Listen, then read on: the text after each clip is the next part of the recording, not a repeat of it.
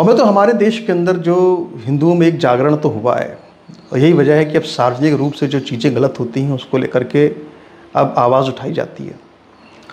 एक मित्रों मैं आपको विजुअल एक एक वीडियो में आपको दिखाना चाहता हूँ, जो कि उत्तराखंड के गढ़वाल का बताया जा रहा है मेरे ख्याल से। और उस वीडियो में एक जागरूक नागरिक है, वो जा करके एक एक जो नाई का काम करता है, एक जिसका नाम साहिल है, उसको बुलाता है।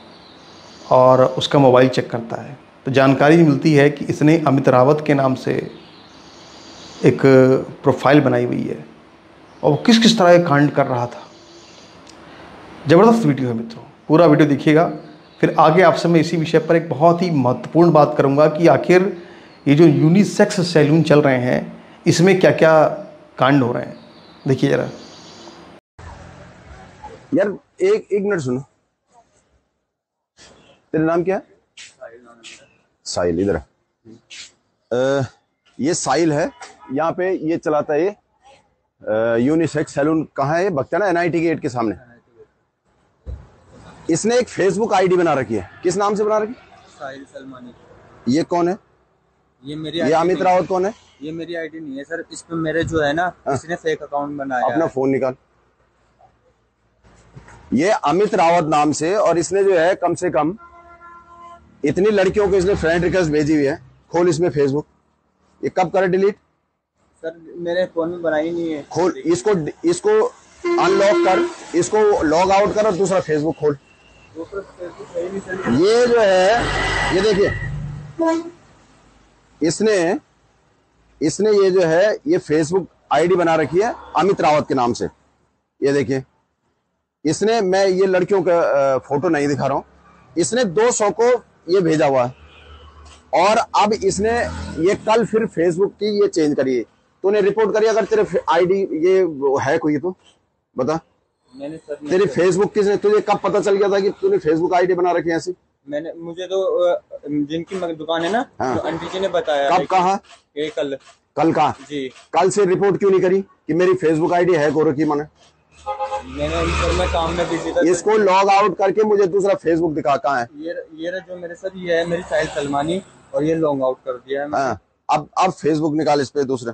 दूसरा फेसबुक कौन सा सर? खोल इस पे। ये देखिए ये हो क्या रहा? यहाँ पे आकर के हिंदू लड़कियों को फंसाने का यही काम है। इसने अमित रावत नाम से जो है ये फेसबुक और अब अब तो मैं पुलिस को कहूँगा और इंटेलिजेंस को कहूँगा कि इसके सारे जितने फ़ोन है उनका उनका ये है मेरी लोग लॉग अनदर कर अनदर लॉग अनदर अकाउंट ये करो अमित रावत पे लॉग लॉग इन करो। ये देखिए जी सर इसमें कोई सी भी मेरी नहीं मिलेगी। ऐसा है इसने देखो ये सब मेरी पर्सनल आईडी है। ये कितना पा- कितने पर्सनल आईडी है? अमित ना कितने है? आईडी नहीं बना और वीडियो में आगे बढ़ने से पहले आपसे एक अनुरोध है कि ये हमारा बारकोड है। आप हमारा वीडियो देखते हैं, आप हमारी पत्रकारिता को पसंद करते हैं तो आप ज़रूर हमारा सपोर्ट भी कीजिए। एक ये नंबर है eight three seven six eight six two five eight five इस पर गूगल पे भी है फ़ोन पे भी है पेटीएम भी है। आप चाहें तो इस पर भी हमें सपोर्ट कर सकते हैं। इस पर व्हाट्सअप भी है, आप चाहें तो अपनी रसीद, ये रिसिप्ट इस पर आप व्हाट्सअप भी हमें कर सकते हैं। मित्रों, आपको जानकर हैरानी होगी कि जो यूनिसेक्स सैलून चल रहे हैं बहुत सारे, इसमें अक्सर होता यह है कि जो बार्बर होते हैं, जो नाई होते हैं, वो ज़्यादातर जिहादी समाज के होते हैं, जिहादी होते हैं। और जो उसमें जो ब्यूटी पार्लर, क्योंकि वो यूनिसेक्स होते हैं तो उसमें मेल फीमेल दोनों आते हैं। तो ज़्यादातर जो बाल काटने का काम होता है मेल का, वो सब मेल करते हैं। और ज़्यादातर जो महिलाओं की श्रृंगार वगैरह काम होता है, वो महिलाएँ करती हैं वहाँ पे। लड़कियाँ करती हैं, बहुत लड़कियाँ, कम उम्र की लड़कियाँ होती हैं। गरीब घर की लड़कियाँ होती हैं, उनको काम पे भेज देते हैं, पैसा कमाने के लिए। तो वहाँ पर बहुत लौ जिहाद चल रहा है। हिंदू लड़कियाँ होती हैं, उनको आराम से फंसा लिए, फंसा लेते हैं जिहादी, और जिहाद करते हैं। तो यूनिसेक्स सैलून भी एक लव जिहाद का बड़ा अड्डा बन चुका है, जिसके बारे में लोग की नज़र नहीं जा रही है। मैंने इस पर इस तरह से बात की कि मेरे कुछ ऐसे परिचित लोग निकले जो कि यूनिसेक्स सैलून चलाते हैं। उन्होंने ये बात मुझे बताई कैसा हो रहा है।